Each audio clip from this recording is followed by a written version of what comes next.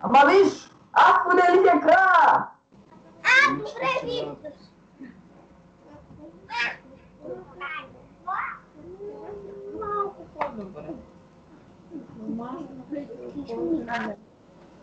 Não tira-lhe, gogara, o tira-lhe, e...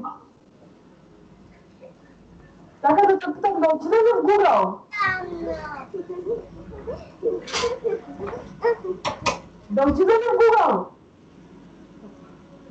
Пише къде да ти го сложа? В папката. Ам, хайде, пусни YouTube. Пише. Там да. И не е така. Виж. Е, дай. Добре. Добре, сега изпомиш. Кой да пусна? I am there. Hey guys, Gnome here. Did you know only 11.6% of our viewers are subscribed? What?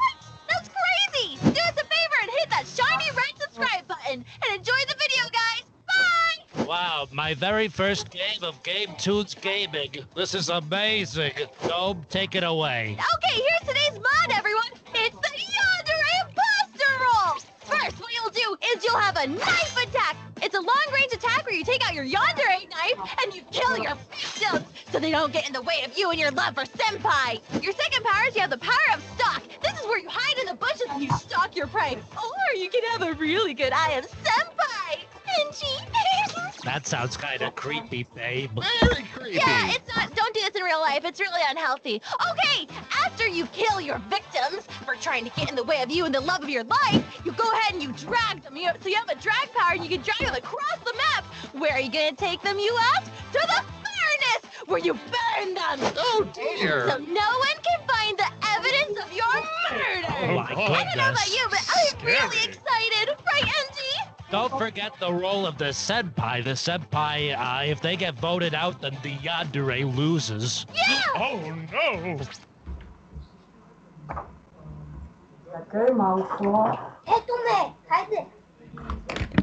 And everything is for Senpai, and you just want to be happy and take care of him and kill everyone else in the meantime. If you kill everyone